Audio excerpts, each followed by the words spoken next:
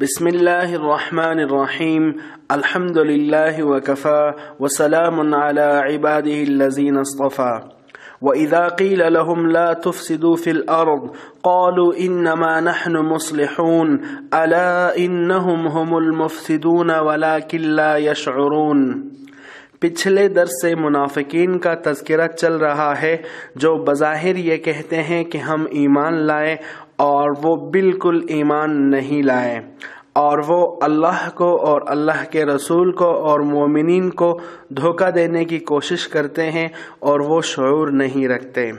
یہاں سے وہ اضاقی لہم لا تفسدو فی الارض کہ جب ان منافقین سے کہا جاتا ہے کہ زمین میں فساد نہ کرو، لگائی بجائی نہ کرو، شرارت نہ کرو، ادھر کی ادھر اور ادھر کی ادھر نہ پہنچاؤ، تو جب ان سے کہا جاتا ہے کہ فساد نہ کرو قالو انما نحن مصلحون، تو یہ کہتے ہیں بے شک ہم تو صرف اصلاح کرنے والے ہیں، ہم تو فساد پھیلانے والے والے نہیں۔ ان منافقوں کے آپ الفاظ دیکھیے، یہ کہہ رہے ہیں، انما نحن مصلحون۔ بے شک ہم تو صرف اصلاح کرنے والے ہیں۔ اور اس کے ضمن میں انہوں نے یہ کہا کہ اے مسلمانوں، فساد مچانے والے تو تم ہو، ہم فسادی نہیں، ہم تو اصلاح کرنے والے ہیں۔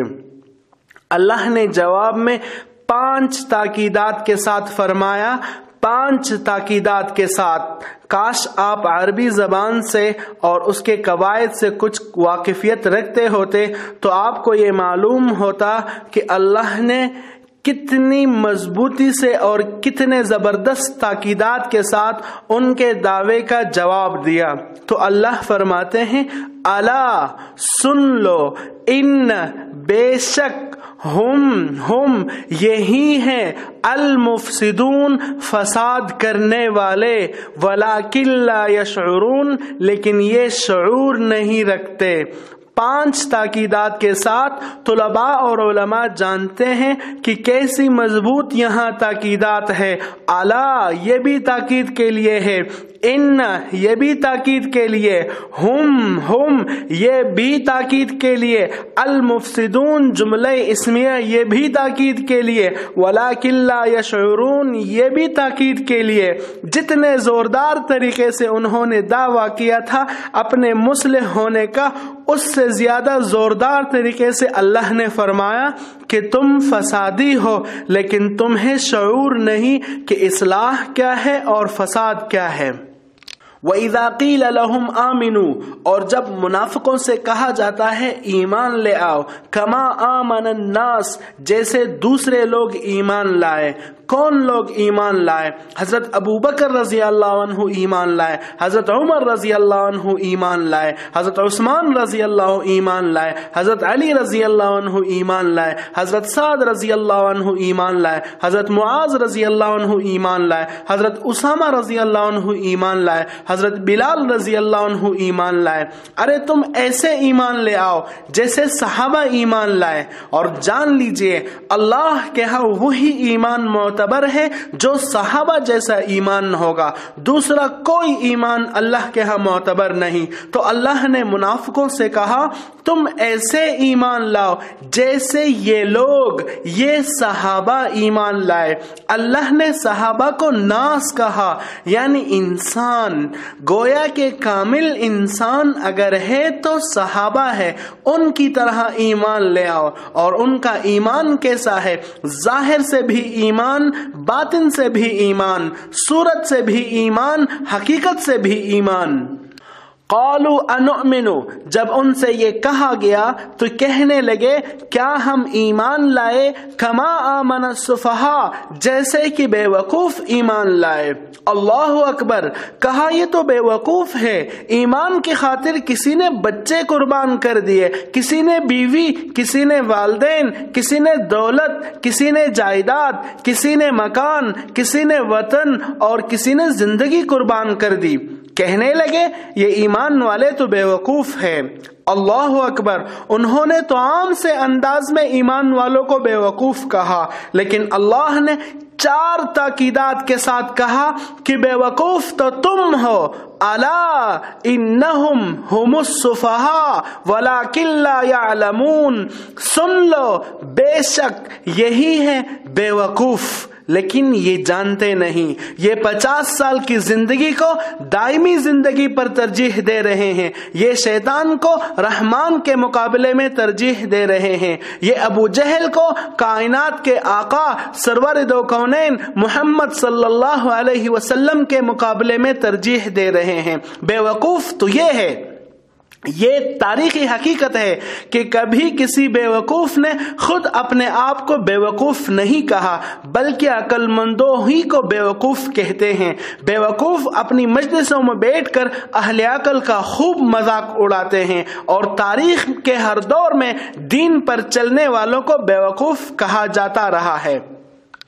وَإِذَا لَقُوا الَّذِينَ آمَنُوا، جب یہ منافق ایمان والوں سے ملتے ہیں، قَالُوا آمَنَّا، کہتے ہیں ہم ایمان لے آئے۔ وَإِذَا خَلَوْا إِلَى شَيَاطِينِهِمْ، اور جب خلوت میں اپنے سرداروں کے پاس جاتے ہیں، قَالُوا إِنَّا مَعَكُمْ، کہتے ہیں بے شک ہم تمہارے ساتھ ہیں۔ انما نحن مستہزئون بے شک ہم تو مذاق کر رہے تھے مسلمانوں کے ساتھ، جو ہم کہہ رہے تھے کہ ہم ایمان لے آئے۔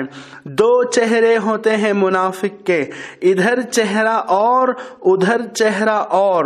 اور جان لیجیے، ہمارے آقا محمد صلی اللہ علیہ وسلم نے فرمایا، بدترین شخص ہے وہ جو دو چہروں والا ہوتا ہے۔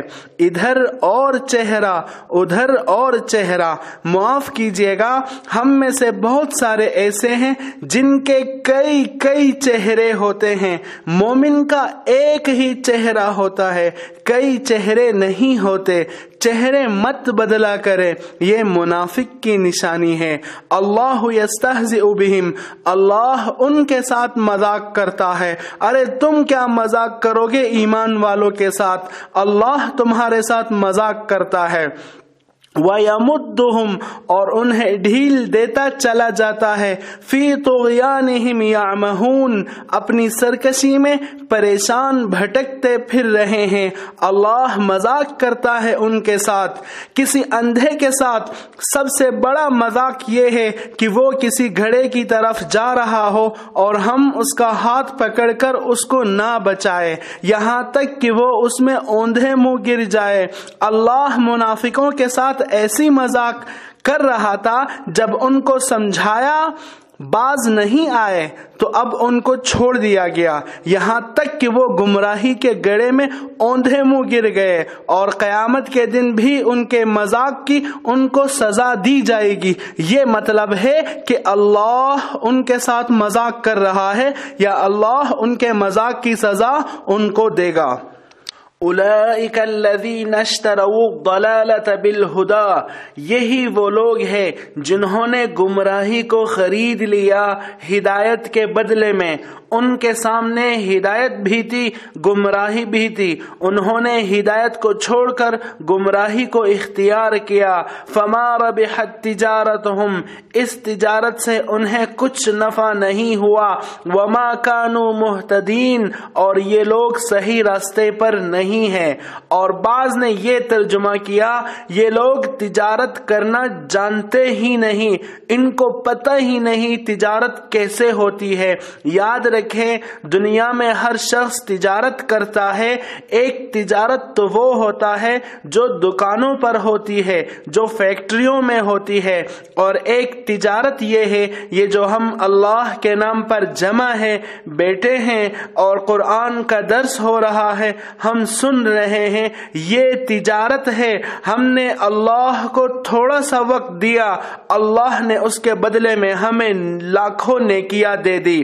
الحمد یہ بھی تجارت ہے۔ اس تجارت میں بعض اوقات انسان بظاہر محروم ہوتا ہے، لیکن حقیقت میں محروم نہیں ہوتا، اسے نوازا جاتا ہے۔ یہ بھی تجارت ہے۔ اللہ کے نبی صلی اللہ علیہ وسلم نے فرمایا، تم میں سے ہر شخص صبح نکلتا ہے، تجارت کرتا ہے۔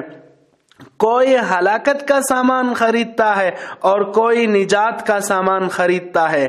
فرمایا کہ یہ منافق تجارت کرتے ہیں۔